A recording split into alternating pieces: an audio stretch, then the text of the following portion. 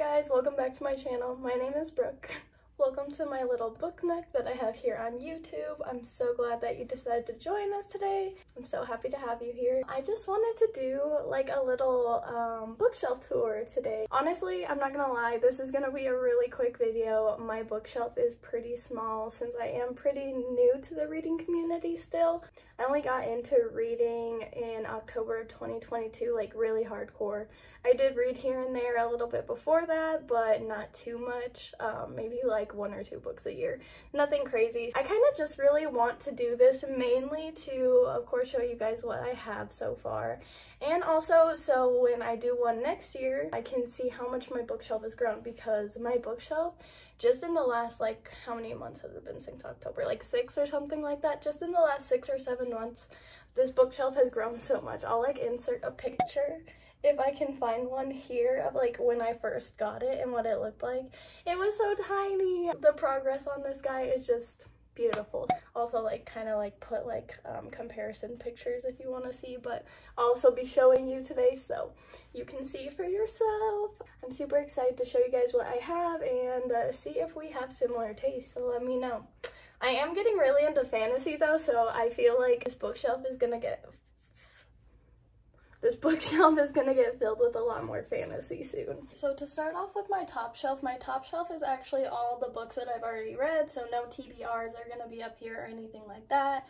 These are all fully read except for like two in those. I did DNF, but I want to finish them. I want to finish them I, yeah, so anyways, technically those are TBRs, but I just didn't want to put them back down here because they just fit well up here anyways. So first we have All the Missing Girls, which is just a book my mom bought me for Christmas one year. I wasn't too into reading it.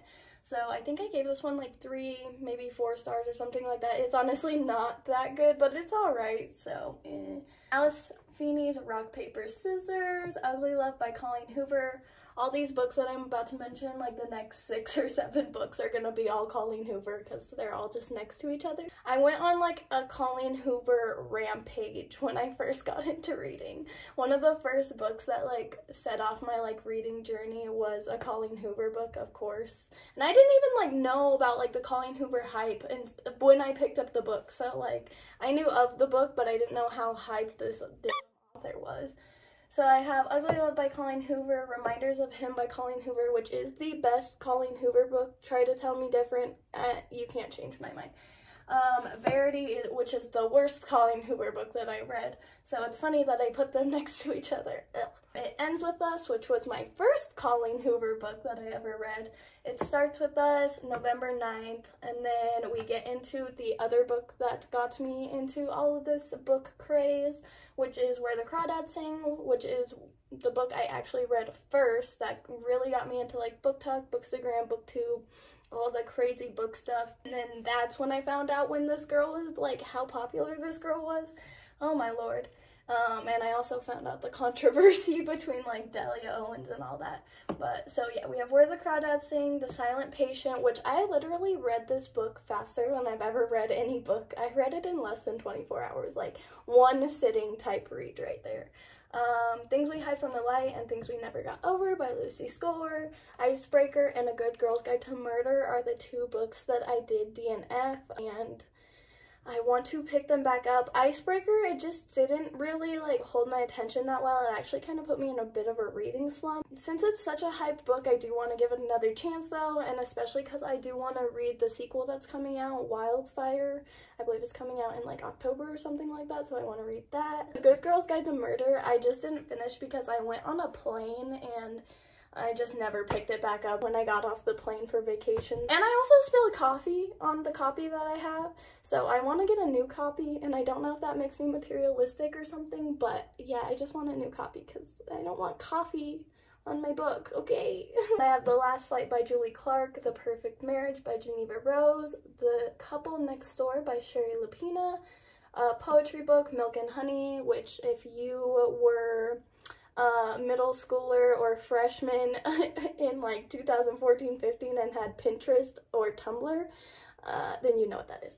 Um, and Go Ask Alice, which is just like a, it's actually a pretty cool book. It's written anonymous, anonymously. Um, the author claims that it was like a real journal that some high schooler like wrote. It's very controversial whether it's actually real or not, so who knows? But it's a really good book, so check it out, but definitely check trigger warnings before you read it. And then we're gonna move down to my second shelf, which is where we get into all the books I need to read. I'm gonna do this kind of quick because I do have to go somewhere. So I have Confess by Colleen Hoover, which I'm super excited to read.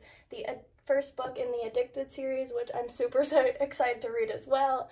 Listen, I'm excited to read all of these books. If I'm not saying it for every single one, I'm excited to read it, I promise. That's why it's on the shelf. Love in Other Words, The Deal by Elle Kennedy, Twisted Love by Ana Huang, I Fell in Love with Hope, If He Had Been With Me, The Way I Used to Be, Archer's Voice, Behind Closed Doors, Tell Me Lies, Colleen Hoover's Layla, His and Hers by Alice Feeney, The Girl on the Train, Stephen King's The Shining, Daisy Jones and the Six, The Art of Racing in the Rain, A Little Life, Seven Husbands of Evelyn Hugo, and then you can't see it over here, but I do have Tomorrow, Tomorrow, and Tomorrow, which I'm super excited to read. The cover for this book is just so cute, and it matches my little tapestry, but yeah, it's so cute. Explain Oh, I didn't like that noise. Let me kind of explain how I have this set up, I guess. So I have it kind of probably seems a little random, but I have like all my romance right here pretty much. And then I have thriller, mystery, whatever you want to call it here. And then I just have like random life books or just regular fiction right there. And that's kind of how I organize that. And then we'll move down to the third shelf. I believe I'm missing two books on this shelf, so don't mind that. Um, I'm reading them, that's why they're missing. Of course, I have my ACOTAR series. Most beautiful books I own, bro. Like, beautifully written. The colors, the covers, everything about these books are freaking beautiful. I have A Court of Thorns and Roses, A Court of Mist and Fury, A Court of Frost and Starlight, and I'm currently reading A Court of, uh, ACOWAR, A Court of Wings and Ruin. And I haven't bought the fifth book yet, A Court of Silver Flames. I'm waiting to read, um, ACOWAR and ACOFOS first. And then I have my Cassandra Clare books, which my grandma kindly gave me. I have my Cassandra Clare books. So I have the Clockwork series. I have the Clockwork Angel, the Clockwork Princess, and the Clockwork Prince.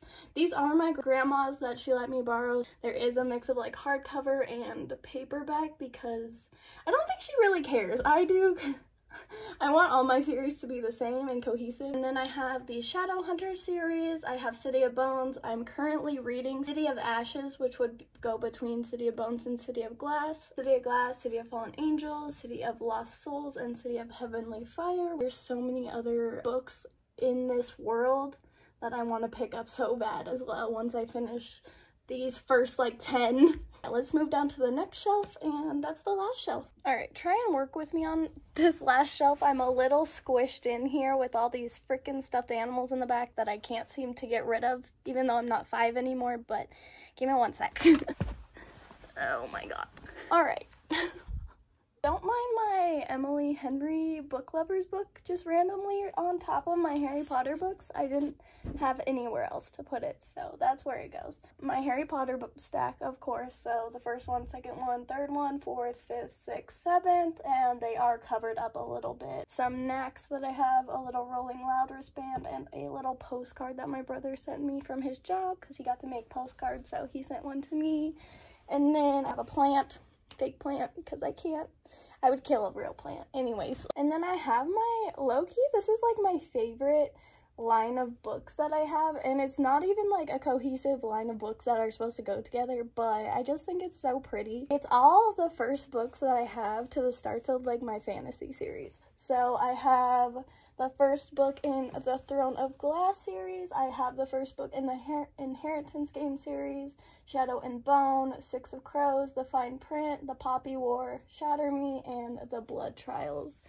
So yeah, that's kind of why it's like my favorite shelf because it just has like all those first books of like fantasy series. They just always start off your journey and so I like have a secret love for them even though the first books in fantasy series usually low-key suck, unfortunately, but I just have a love for them because they always start you off on your journey and your love for them and stuff like that. Like right now, I'm reading ACOWAR and I really just want to go reread A Court of Thorns and Roses and ACOMAF so bad right now. That was my little bookshelf tour. I hope you guys enjoyed it. Just something little quick that I wanted to get out for you guys and something that I can also look back in um in the few big